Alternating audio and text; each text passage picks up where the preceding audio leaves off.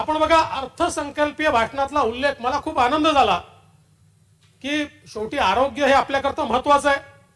आणि मग ग्रामीण भागातील आरोग्य संस्थांचे बांधकाम व श्रेणीवर्धन यासाठी चार वर्षात साडेसात हजार कोटी रुपयाचा कार्यक्रम प्रत्येक वर्षी अठराशे कोटी नागरी आरोग्य सेवा पाच वर्षात पाच हजार कोटी यावर्षी आठशे कोटी.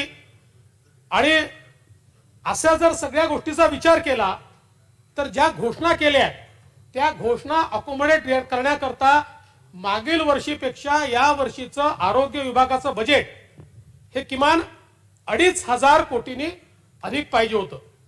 पण काय अवस्था आहे? अध्यक्ष महोदय आपलं बजेट हे दोन हजार एकोणीस वीसचं या ठिकाणी नऊ हजार पाचशे सत्तर कोटी आणि अध्यक्ष महोदय आपलं एक वीस एकवीसचे सुधारित अंदाज बारा हजार एकोणचाळीस कोटी आणि एकवीस बावीसमध्ये ते अडीच हजार कोटीने वाढायच्या ऐवजी बारा हजार कोटीवरनं ते आलं दहा हजार नऊशे सत्तावन्न कोटी.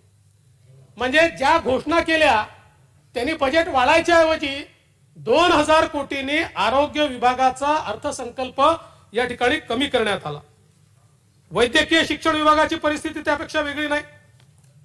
अध्यक्ष महोदय पाच नवीन वैद्यकीय महाविद्यालय स्थापन करू अस्तित्वात असलेल्या महाविद्यालयांची क्षमता वाढ करू सतरा शासकीय वैद्यकीय महाविद्यालयांना जोडून भौतिक उपचार व्यवसाय उपचार महाविद्यालयांची स्थापना लातूर सांगली आटपाडी येथील बांधकामे अशी अनेक प्रस्तावित केली असताना अध्यक्ष महोदय काय अवस्था आहे?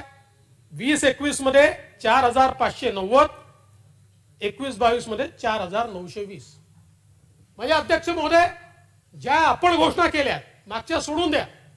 आपल्या अर्थसंकल्पात केलेल्या घोषणांकरता तरी किमान आपण तरतूद या ठिकाणी केली पाहिजे.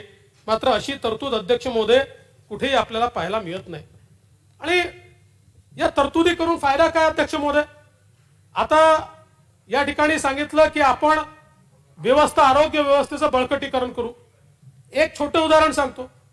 नागपूर जिल्ह्यातल्या हिंगणा मतदारसंघामध्ये बोरखेडी फाटक इथे एक प्राथमिक आरोग्य केंद्राच्या इमारतीचं बांधकाम सुरू झालं.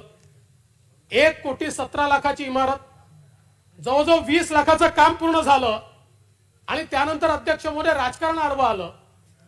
जागा त्या ठिकाणचे जे आमदार आहेत समीर मेघे यांनी स्वतःची दिली सरकारला. कारण जागा उपलब्ध नव्हती पण अध्यक्ष मोदी राजकारण सुरू झालं आणि त्या ठिकाणी पंधरा वीस लाख रुपये खर्च करून ते काम बंद केलं. आता नवीन जागाही नाही आणि त्या ठिकाणी आरोग्य केंद्रही नाही. असं जर आरोग्याच्या क्षेत्रामध्ये आपण राजकारण करत असू किंवा जीएमसी नागपूरमध्ये रोबोटिक सर्जरीच्या संदर्भात माननीय सुधीर भाऊंनी पैसे दिले होते अजूनपर्यंत त्याची खरेदी देखील आपण करू शकलो नाही. ही आपली अवस्था या कोविडच्या काळामध्ये अध्यक्ष मोदी या ठिकाणी आहे.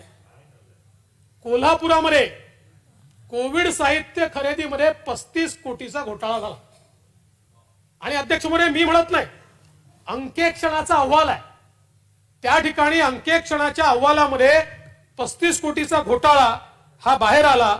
या संदर्भात कुठलीही कारवाई नाही. लातूरमध्ये रुग्णांना मुदत संपलेली औषधं अध्यक्ष महोदय या ठिकाणी केली. आणि कारवाई कोणावर झाली? मुदत संपलेली दिली तर अध्यक्ष महोदय औषध निर्माता कंपनी. अरे मुदत संपलेली तुमच्याकडे औषध आहेत त्याची मुदत आहे की नाही ते तुम्ही पाहिजे नाही? अध्यक्ष महोदय कुठली कारवाई? या संदर्भात करण्यात आलेली नाही. आणि म्हणून एकूणच आरोग्य क्षेत्राच्या संदर्भात या ठिकाणी जे सांगितलं आहे ते अध्यक्ष महोदय मला असं वाटतं की केवळ कागदावर आहे.